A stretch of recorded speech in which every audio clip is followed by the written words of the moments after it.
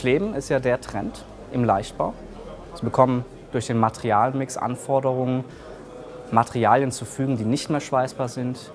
Wir wollen keine Löcher reinbringen, äh, um die Strukturen zu schwächen. Und sehr häufig ist dann das Kleben im Grunde die letzte Möglichkeit, um Befestigungselemente aufzubringen oder diese Werkstoffe an sich zu fügen.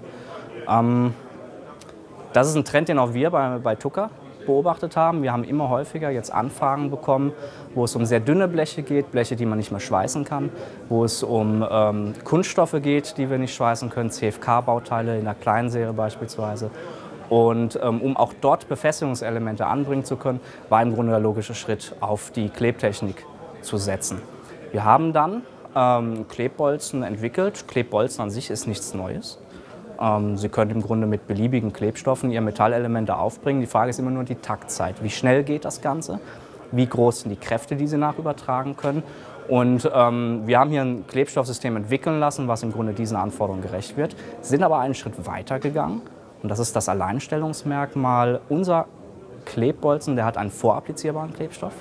Das heißt, der ist bereits auf dem Bolzen drauf, wird bei uns im Werk vorbeschichtet und Sie bekommen als Kunde den Klebbolzen als Schüttgut. Und im Grunde ist die Verarbeitung analog zum Schweißbolzen. Der Kunde kennt diese Prozesse, ähm, muss also keinen pastösen oder flüssigen Klebstoff auftragen, kein Gefahrstoffhandling, keine Logistik für Klebstoffe und so weiter, sondern schmeißt einfach diese Bolzen in den Zuführer, die werden dort vereinzelt, die kleben nicht zusammen und werden vollautomatisiert auf, den Bolzen, äh, auf das Bauteil gebracht. Die erste Anlagentechnik, die wir entwickelt haben, die war im Grunde für einen Kleinstserieneinsatz. Innovative Fahrzeuge, Sportfahrzeuge, Premiumhersteller. Ähm, der nächste Schritt wird sein, Anlagentechnik und Klebstoff für eine Großserienanwendung ähm, zu erarbeiten. Da haben wir ganz andere Anforderungen, auch von, vom Personal her von den Prozessen her. Das heißt, ähm, aktuelle Klebstoff, der hat noch äh, die Kühlkette, Erfordernis für eine Kühlkette. Ähm, wir entwickeln jetzt ein neues System, was ähm, mechanisch, bzw. thermomechanisch deutlich besser geeignet ist für so Dünnblechanwendungen.